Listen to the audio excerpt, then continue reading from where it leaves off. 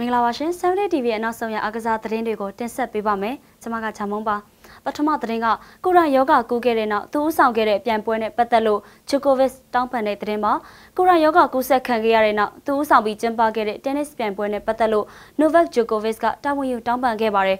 Grigor Dimitrov, Borna Koric နဲ့ Viktor Troicki တို့ကသူတို့ဟာကမ္ဘာအဆင့်တစ်တင်းနစ်သမား Djokovic ကဦးဆောင်ကျင်းပတဲ့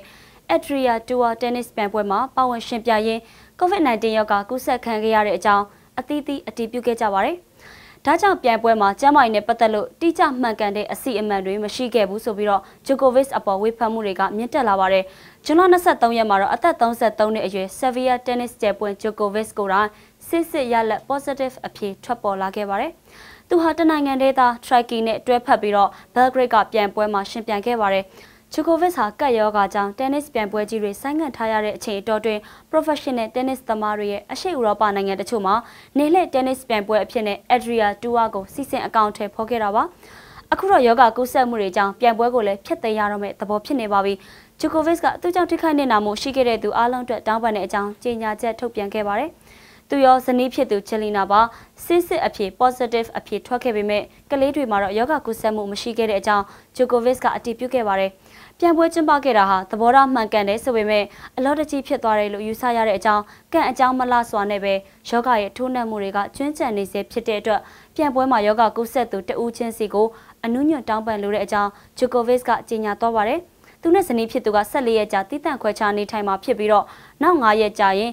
ဆေးထက်စစ်ဖို့စီစဉ်ထားတယ်လို့လည်းသိရပါတယ်ရှင်။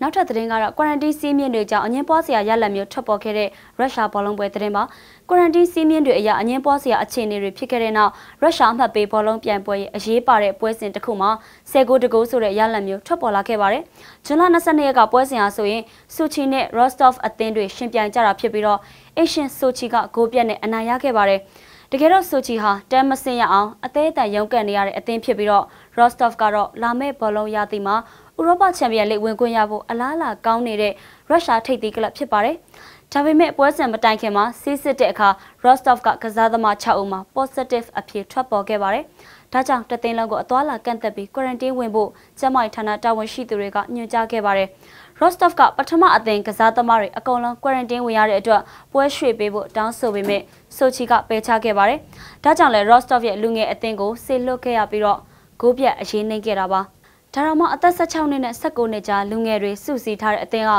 အရှင်တွေကိုဥဆောင်ကိုတွင်းခဲ့ပါသေးတယ်။ပွဲရလက်ကတုံ့လုစရာဖြစ်ခဲ့ပေမဲ့အကောင်းမြင်ရမယ့်အချက်တွေတော့ရှိခဲ့တယ်လို့ Rostov အသင်းကကြေညာပါရယ်ဒီပွဲမှာဂိုးကာကွယ်မှု15ချိန်ပြုလုပ်ခဲ့တဲ့အသက်18နှစ်အရွယ်ဂိုးသမားလေးဒင်းနစ်ပိုပေါဖ်ဟာပွဲစဉ်ရဲ့အကောင်းဆုံးကစားသမားဆုကိုရရှိခဲ့ပါတယ်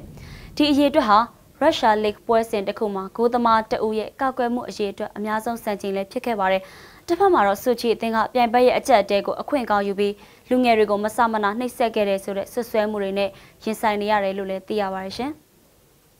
နောက်ဆုံးသတင်းက PSG ကစားသမား3ဦးယောဂကုသခံခဲ့ရတဲ့အကြောင်းစစ်စစ်တွေ့ရှိတဲ့သတင်းမှာပြင်သစ်ကလပ် PSG အသင်းကလေ့ကျင့်ခန်းဆင်းဖို့လူပြန်စုရမှာကစားသမား3ဦးယောဂကုသခံထားရတဲ့အကြောင်းတွေ့ရှိလာခဲ့ပါတယ်။ပြင်သစ်လီဂို1ချန်ပီယံကလပ်က ကစားသမား3ဦးနဲ့ဝန်ထမ်း2ဦးရဲ့စစ်စစ်အဖြေတွေက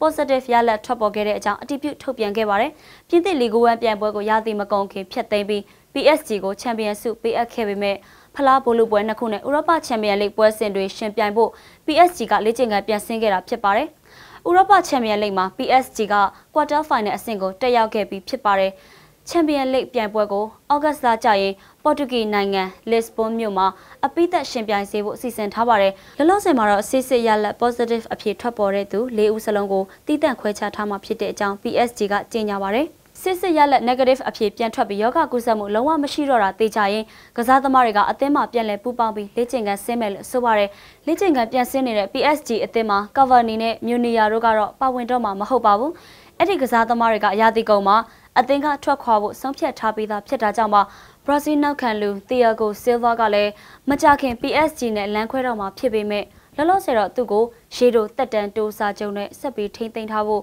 PSG ကညှိနှိုင်းနေတယ်လို့လည်းသိရပါတယ်ရှင်။70 TV ကနေပြီးတော့ကမ္ဘာတလုံးမှာဖြစ်ပေါ်နေတဲ့အားကစားသတင်းတွေကိုနေ့စဉ်တင်ဆက်ပေးနေတာဖြစ်ပါတယ်။အားလုံးကိုကျေးဇူးတင်ပါတယ်ရှင်။